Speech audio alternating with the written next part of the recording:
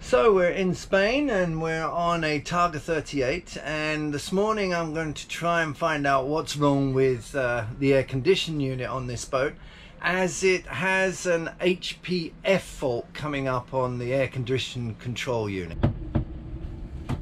So there it is and it says on the air condition control unit HPF which is high pressure fault.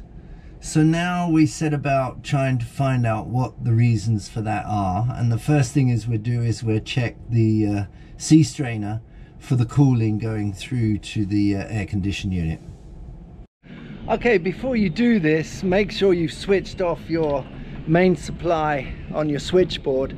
And to be doubly safe, just pull out your ship to shore power.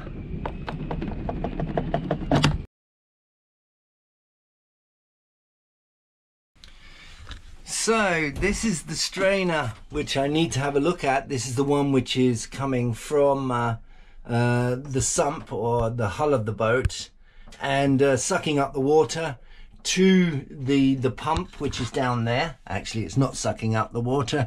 It's taking the water in and obviously it's uh, uh, filtering it before it goes to the pump which is there and uh, pushing it through the system.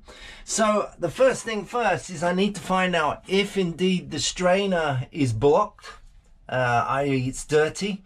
And uh, if that isn't the case, then I'm going to stick uh, a hose pipe through here, through this hose, that hose there. So it's going to go in here. I take this off and put the hose pipe through to this pipe here, switch the hose pipe on, and then it will go straight through the pump and hopefully bleed out any air which is in the system. So the first thing we need to do is turn off our stopcock to the strainer. So now I'm taking off the strainer cap.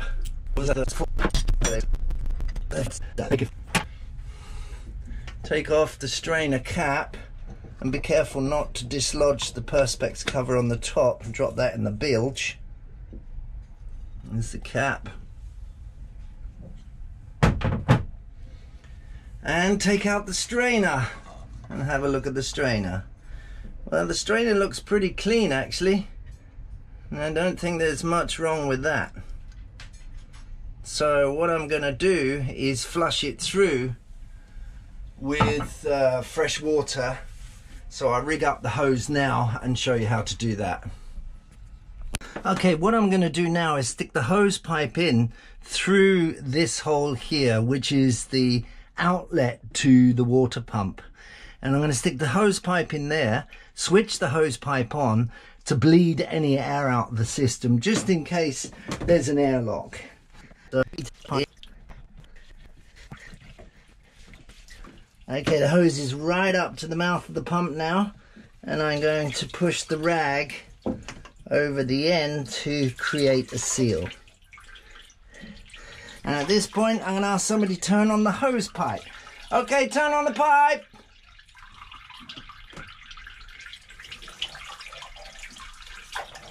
So the water is on, and it's hopefully going through the system getting any airlocks out.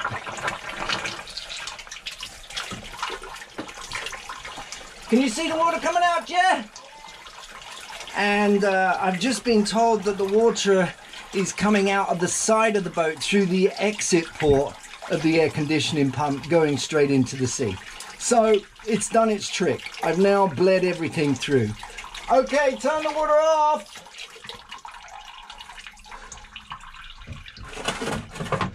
At this point, I want to be quick and get the cap on quick and the strainer in so I don't let any air back in the system. That's the strainer over. Cap on with the Perspex top.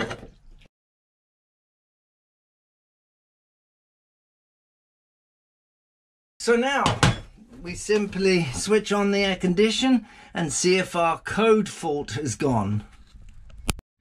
So now I've uh, switched on my 220 volt from the pontoon. I switched on all my breakers and the air conditioning in terms of the pump and seawater pump, both forward and aft. And now it's the moment of truth. Let's see if she's going to work. So turn her on.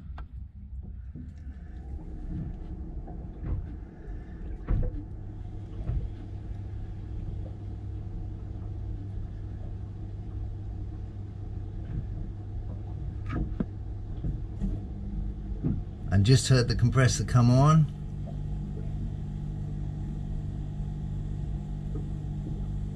And yes, problem solved, it's working.